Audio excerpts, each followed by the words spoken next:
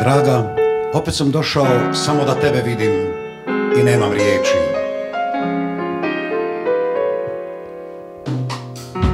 I opet sve, opet sve na istome Ti ne znaš kako mi je kad nisam s tobom. Ostaje Zašto si svaki put sve ljepša i ljepša? Svaki put, svaki put sam ti usput koja jedina imaš ono nešto tako posebno, uzbudljivo.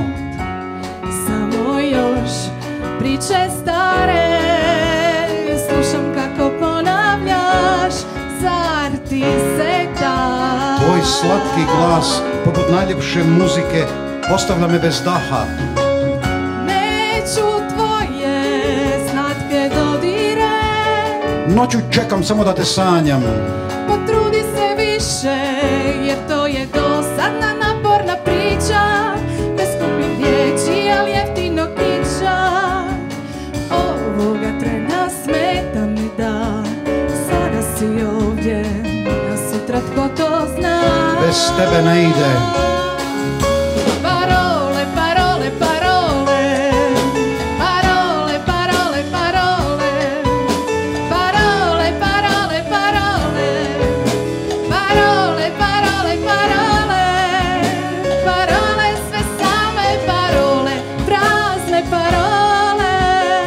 Oči i tvoj vrat, a ispod ne, ne usuđujem se ni pogledati.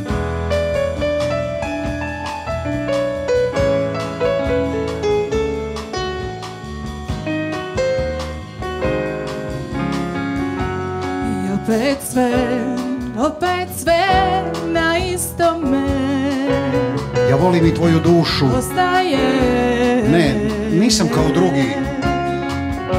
Jer svaki put, svaki put sam ti usput. Ali tvoja koža, Tek usput. poput svile, Sutra je sve po starom. Nekoj drugoj govori sve iznova.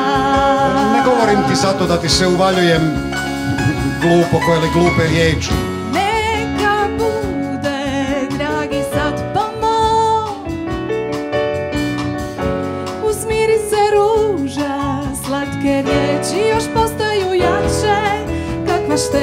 Šteta što ništa ne znače.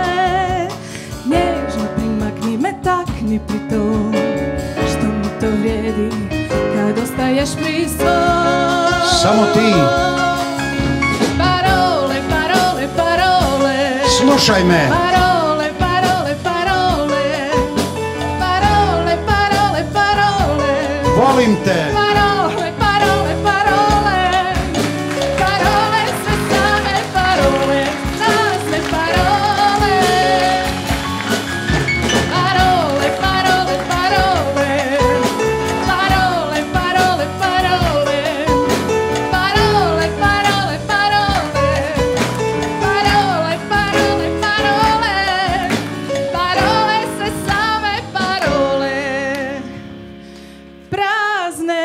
pas